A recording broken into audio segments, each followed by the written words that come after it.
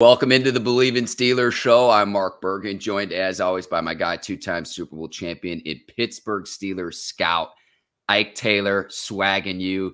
It is wonderful to see you, Ike. We have a loaded show on this Wednesday. Steelers on a three game losing streak, trying to get right against the Bengals in week 16. Ike, it is good to see you this morning, my man.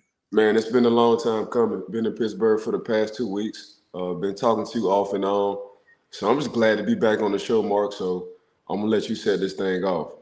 Absolutely. And Ike, the last time we were on together, we had Dave Dameshek on for our 300th episode. Thank you to Dave. And if you enjoyed that interview, give him a shout out on social media. Always good chopping it up with him. And it's like getting the band back together, right? Because I know you worked with Dave at the NFL Network. Right, right.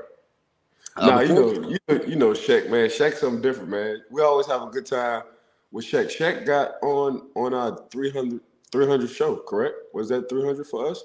300, so, just like yeah, the movie. So, yeah, so what a coincidence. So big shout out to Shaq for coming on the show, Dave Shaq for coming on the show, man.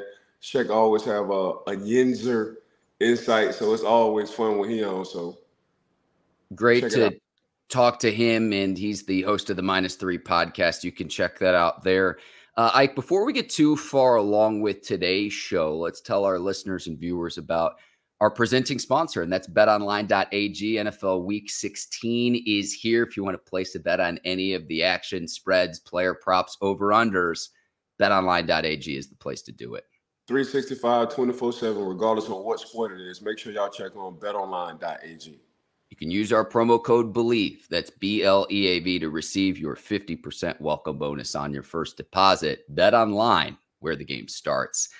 Ike, uh, Mason Rudolph is going to be the starter for the Steelers if Kenny Pickett can't go. Uh, Mitch Trubisky benched. He ultimately is going to be judged by his wins and losses. He's two and five as a Steelers starting quarterback. He has yet to throw for 200 yards in a game this season with the Steelers. And that Saturday game against the Colts, it just, I know if you look on paper and the box score, it might say one thing, but this Steelers offense is just really, really struggle.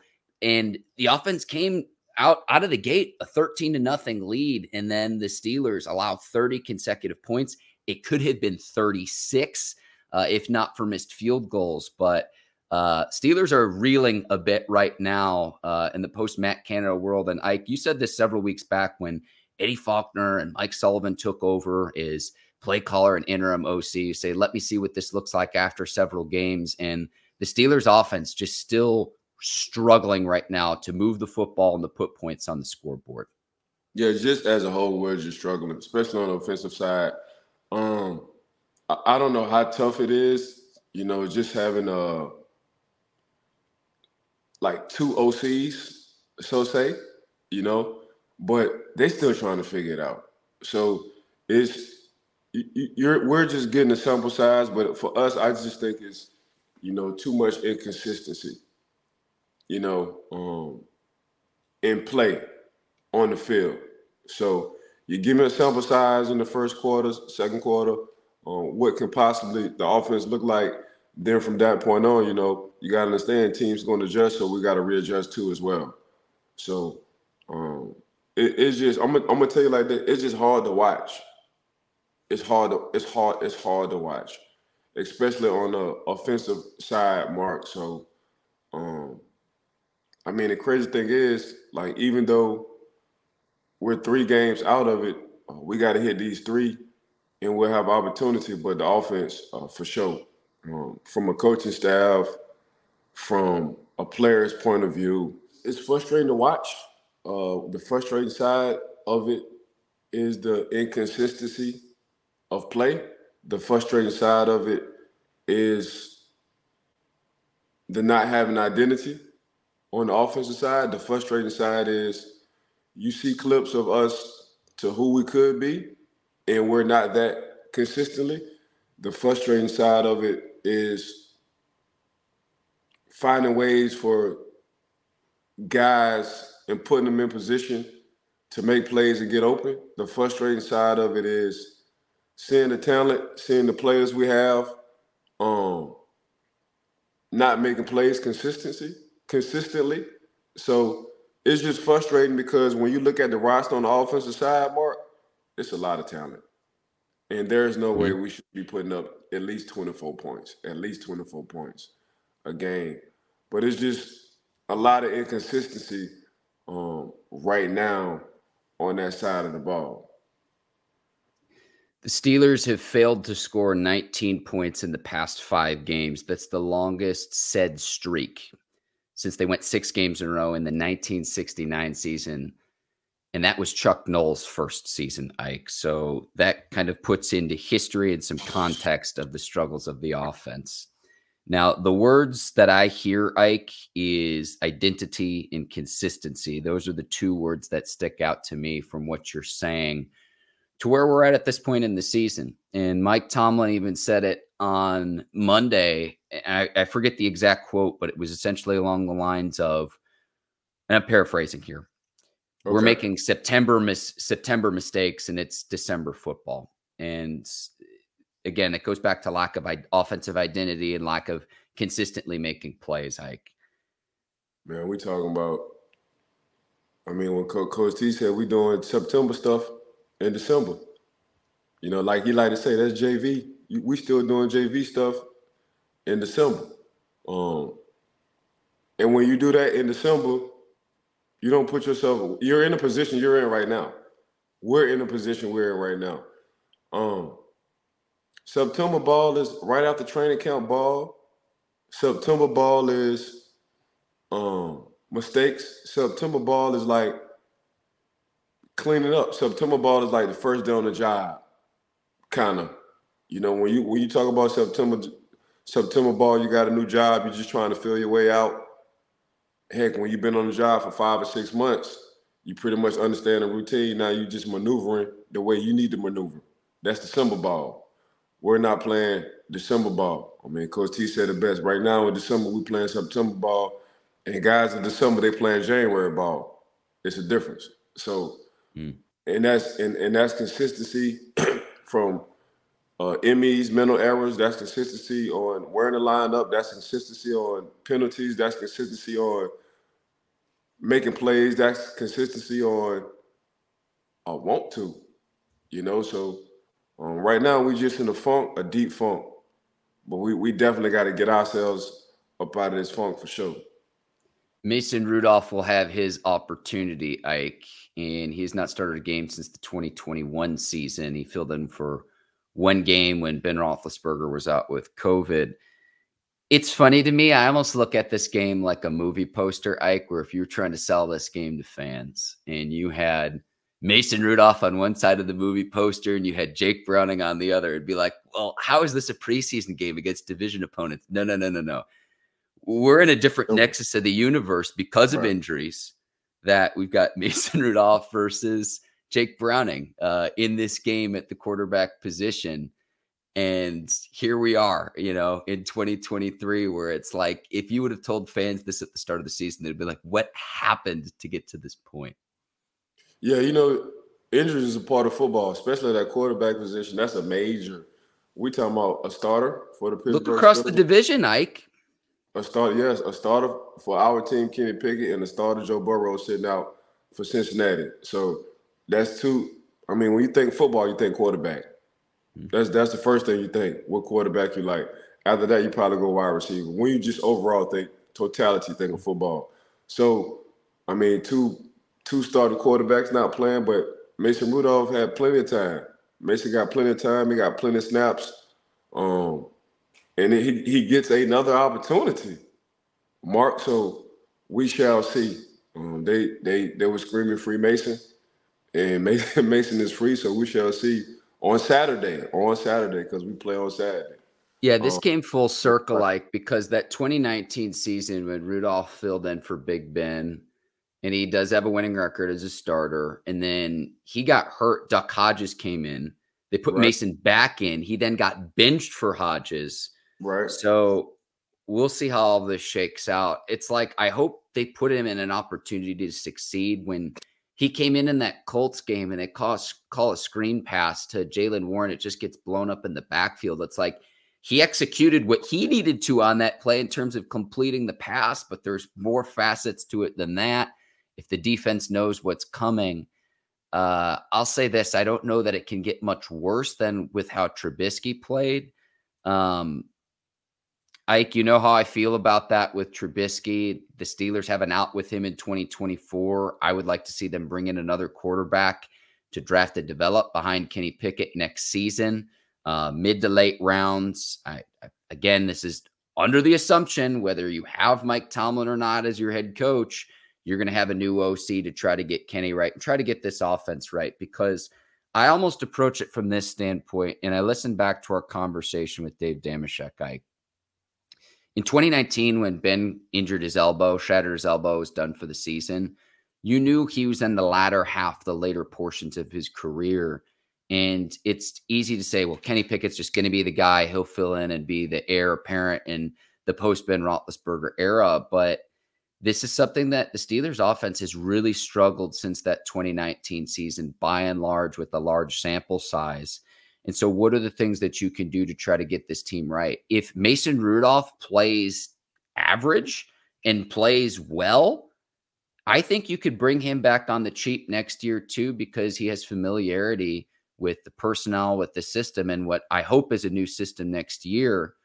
Um, but just with Trubisky, if you're paying him uh, eight million dollars between five and six for the two seasons after this one, if you're paying a premium for the backup, Trubisky is the 28th highest paid quarterback in all of the NFL for this season you're not getting premium from him as a player at the backup position. So I, would move on from him, Mike. That's just my that's just my opinion.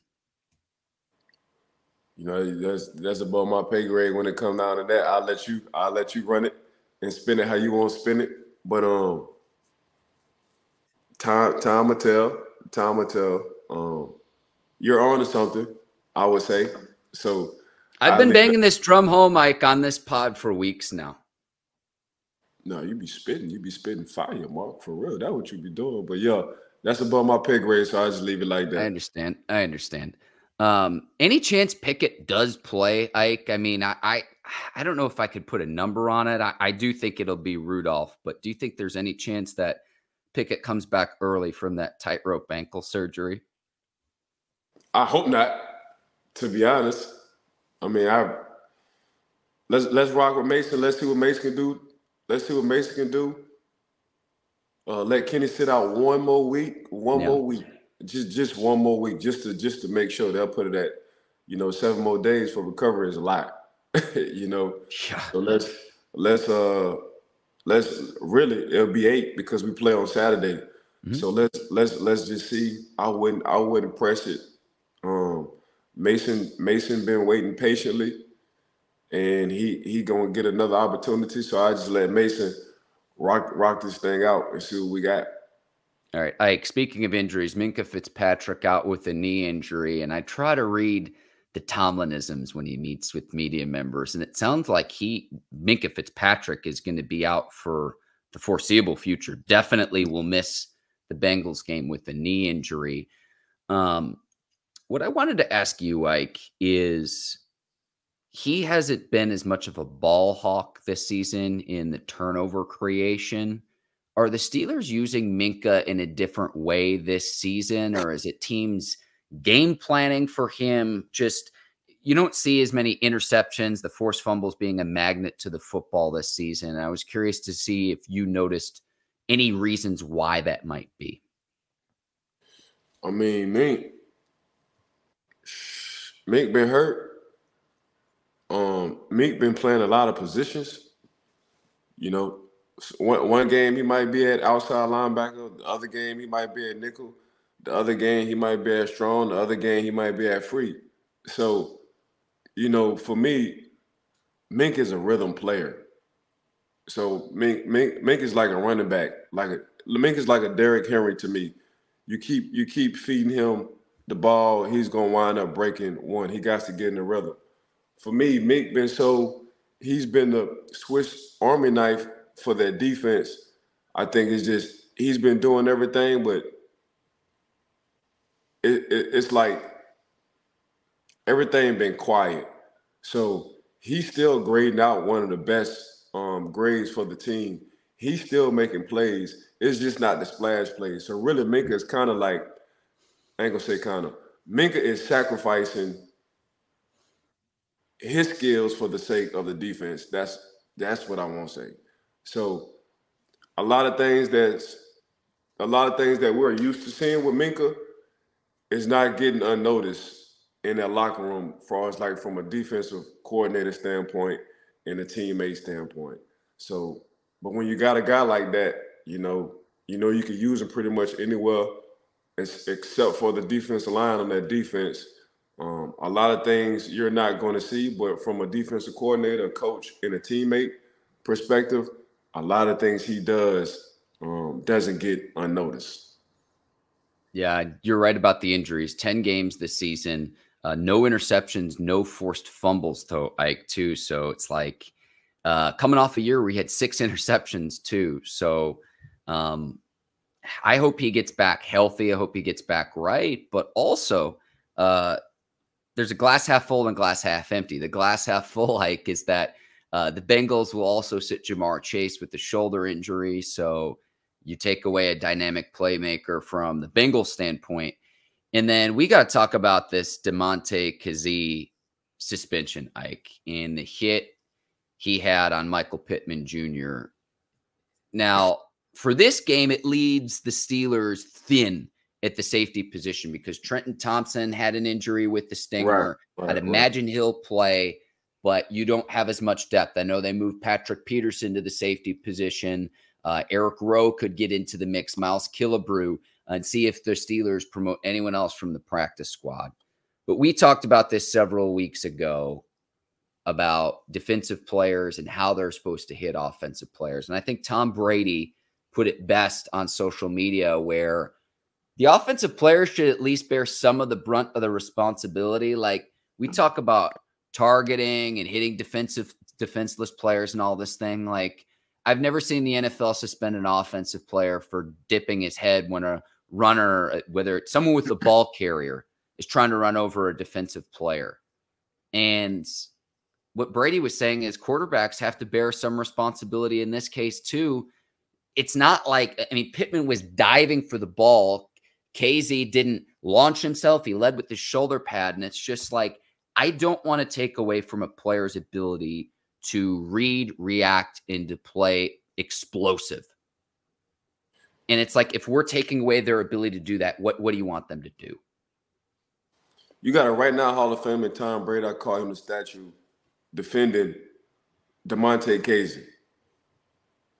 So that's that's that's that's letting you know Tom Tom could have went the other way with it mm-hmm. easily, but Tom came up in the era with with me where football football was being football is what I want to say. Now you ask Damontae Kazee to to hold back or not hit like that. Damontae Kazee, in my mind, did nothing wrong. Damontae Kazee led with his shoulder. Damontae Kazee, it technically, if you look at if you're looking at it, he was trying to go for the ball. Pittman just stretched out and he just wound up getting caught and that kind of fire. So as a defender, I have to protect myself. And and how's that? I gotta be the aggressor at all times. If not, I'm gonna get hurt. But as Tom said, Brady, that is, when you're when you're when when you're a good quarterback, you understand ball placement. You understand protecting your wide receiver. You understand you understand sometimes I gotta throw this ball, but I gotta throw it low, probably back shoulder, so he don't get hit. Sometimes you understand like I gotta throw it, but I gotta throw it to the dirt um, because he I see the defender coming and he don't. I gotta protect his body. So when you're good, when you're a good quarterback like Tom, Tom Tom understands every throw, I'm throwing the ball to protect my receiver, especially in crucial situations. So when when you when you when you snap the ball and you see a cover four, cover three, cover two, and you know the weaknesses to them to them defenses, mm-hmm. but you know the angles the safeties and the cornerbacks or linebackers need to take. You just know where you need to throw the ball at in protection of the wide receiver. And Tom, Tom don't say nothing at all. So for Tom to defend a Stiller, Damontae Kazee, safety, says a lot. One time I was watching the game. Two, he probably just had enough of dang, let the defenders play. You know, especially when Damontae checked all the boxes, Mark. He didn't lead with his head. Mm-hmm. And he hit he he hit Pittman with his with his uh with his shoulder pad. So it's like if I'm Damontae Kazee, like what else y'all want me to do? Like I'm I'm, I'm going by the book. Damontae always been violent. Always. That's what I love about him. But as he as he's tackling, he's adjusted and he's going by the book and he still gets punished. Yeah, and Ike, at the time of this recording, we don't know the outcome of his appeal with the NFL. Correct. Um, he's been previously fined five times this season for unnecessary roughness violations, but when you're also taking away his salary too uh, for the remainder of the season, Ike, it's just crazy, like bro. I, I, see a lot of people. I, I, don't always look on social media, but when I see a lot of people that know ball are saying that this is absolute bogus, we'll see what the league decides in its appeal um, or in Kazee's appeal. But like I said, like I don't want them then playing timid to where either he gets hurt, worst case scenario, or you know he he's not making a play that he needs to play, and he's a can be a dynamic playmaker at times. So it's like you're damned if you do, you're damned if you don't in a lot of regards, Ike. And it's just like I, I don't know what you want him to do in some of those scenarios where he's simply just trying to make a play. Man, that's all that man trying to do, bro. Make a play. Um, I mean, Pittman just got caught diving. When he dove, it's like he when you dive, you kind of are defenseless. So he, but Pittman was just trying to make a play too. He was trying to make a play on the ball. Damontae was trying to play, make a play on the ball. They just got caught in that friendly five. Yeah. So for the time being, it'll leave the Steelers thin at the safety position. Even if his appeal is granted, Ike, and it's not a season long suspension, I doubt he plays Saturday against the Bengals. So right. we'll see how all that unfolds. Um, I I don't know the best way to ask this uh, to you. Uh, George Pickens' effort, the two plays I'm talking about against the Colts, where uh-huh. Jaylen Warren is scrapping for a touchdown to try to score in the red zone. He stops blocking his defensive back, and then uh, Mitch Trubisky's last interception, where he starts to jog after the defender and then just starts jogging at midfield I remember a few years ago when OBJ was on the Browns and he tore his ACL trying to chase after a defender who intercepted Baker Mayfield. Um, at the same time, watching these reps on film are really, really difficult. Um, I take this in any direction you like, but I have to ask you about this is when you see this as a player, just like what comes to your mind when you see those two reps on film? Um, bro, you tripping? That's how I look at it. Like, cause that that that for sure ain't you. I I know I know the George Pickens. I know the George Pickens. When I watch on tape, when he get in between them lines, ain't no such thing as no effort. That that's what I do know. So Don't let don't let that leak in. I'm I'm talking to George. George, don't let that leak into your game, bro. Don't even let don't even let don't don't even put that on tape because that ain't true. For for sure that ain't true. Like George, I don't know if you know, but you're a leader, so it's time for you to start acting like a leader. Mm. I know you probably don't, I, I know you probably don't want to be a leader, but off of default, your talent, your production, what you can do, how other how other defenses look and value you. And I'm just gonna tell you this from the get-go, George. You're a leader, bro, so let's start acting like one. I mean, and you ain't you ain't gotta talk because you're not a talkative person. What you do on the field shows that you're a leader. And and and a lot of that comes with, and this ain't got nothing to do with catching, because everybody know your catch radius is off the charts. Everybody know all you need is a couple of targets a game, and you're gonna make a play or score a touchdown. Everybody know that, George. Everybody know that. But the effort part, don't let that leak into your game, bro. I, I don't think you understand how many people uh, look up to you, and I don't think you understand how important you is to the organization. So, GP, let's not put this on tape. Um, ain't nobody asking you to be vocal when it comes down to leadership, but I'm telling I'm telling you this off of what I see, GP. You a leader, so let's start acting like a leader. Like that's very well said. And uh, you see a lot of clips where he's abusing defenders, not just catching the ball, but blocking in the past too. And um, just tough to watch. I get it. It's late in the season. Your team's struggling. You're now on the outside looking in for the playoffs. I, understand all of that. Right. But I don't, I lack, don't. lack of effort. You are what you are on tape. Yeah. Your, your tape, your tape is your resume. So, like you've said that you've said that slogan since we started doing the show in 2019. Effort should never be questioned if you a football player, regardless of you, you're not gonna you're not gonna know whether we're six and eleven or eleven and six off of my effort. Just off of effort. So and and and that's since I hit the front office, that's exactly what I look for how how does a receiver do the how does a receiver block?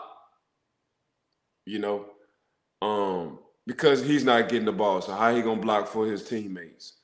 Um, how do a running back pick up the blitz because he's not getting the ball, so he got he gonna sacrifice for his team?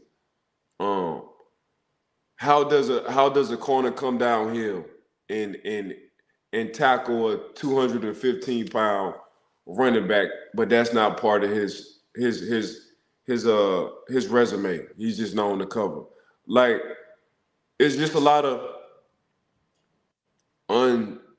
unselfishness, bro. To be to be to be honest with you, Mark. So I mean, I, I don't think I see this again coming from GP far as like effort wise, but effort ain't got nothing to do with record ever. Yeah, like the energy that I think he can bring and is capable of bringing, if that's channeled and harnessed the right way, it it's a scary combination. It's a chocolate and peanut butter combination where one right. plus one equals three. How he responds is what I'm looking at, Ike, because we've seen this before with other talented Steelers receivers, Chase Claypool, Antonio Brown, like different circumstances, I understand, but to where there's some drama and everything go let your tape and, and go showcase your athletic excellence in these last three games. How you respond to this of, hey, here's what I'm capable of doing when I'm getting the ball, when I'm not getting the ball. And he has that opportunity really starting Saturday against a division opponent where you have to win out and you're going to need help if you want any chance of making the playoffs. From his talent standpoint, I have no doubt in my mind that he could do it. And here's the thing, too, is there's already people on social media saying, oh, well, they need to trade him now. And there's others saying, well, he wouldn't have value. I think there are a lot of teams that would want to have George Pickens on their team, given what he can do with the football in his hands, Ike. So it you're you're rolling your eyes at me, but what we're saying is true. He, my, my point is this: he has the opportunity of how he responds to adversity come Saturday, and I- am excited to watch that. I really am. Man, nobody trading GP, man. That dude, the alien, bro. Ain't no, ain't no, ain't no, ain't nobody check. GP will have a 31 waiting list, a 31 team waiting list. Ain't nobody, ain't nobody. You you don't trade. He ain't, he ain't from around here, bro. It, it really, he ain't do, he ain't do nothing wrong. Like GP, for me, with GP is just a maturity. GP don't do. I, I know when GP step in between them two lines for practice. I've been up there for two weeks. That that he it's just off of them two plays. I guarantee it won't happen again. Off of them two plays is just like that a mental a mental lapse. But that ain't him, so I'm not worrying about it. Mm. Uh, that, that, ain't. What, that to hear you say that you went against everyone. I know you were there for practices. I know you were there during training camp. When you say he's an alien, I've gone up and down the your resume of who you covered. So when I hear you say that, and if someone's watching this and be like, What's Ike Taylor talking about with George Pickens? Ike went against everybody. Go look at his resume 03 to 2014. Every receiver that played in the league, you went against. Period. Right. Yeah, and GP alien, bro. He he all the way, he all the way. Ain't no ain't nobody, ain't nobody trading. And he ain't even do nothing. Like they like okay, non-effort on a couple of plays. But that that's that's not his personality when he step in the line. That ain't him. So I also think that's magnified during a loss, Ike.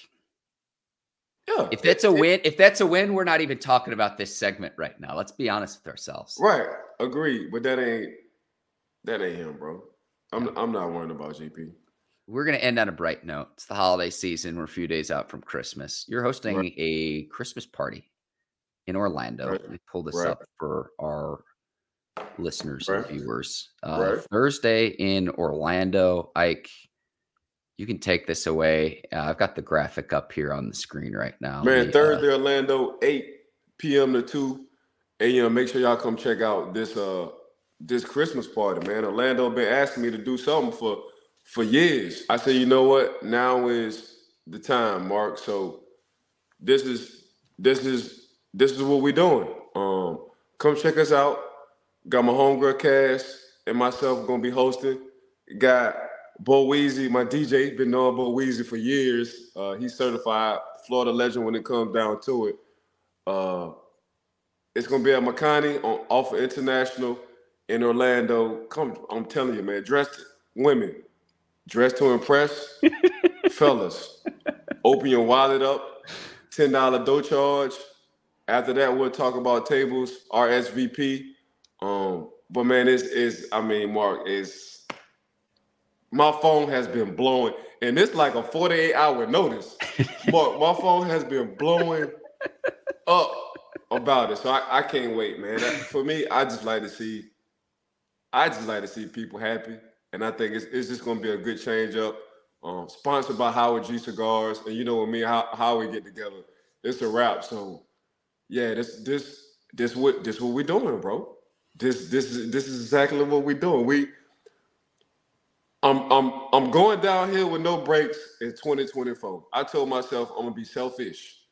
I told myself, man, my son's straight, my mom is straight, his mom's straight, my sister's good.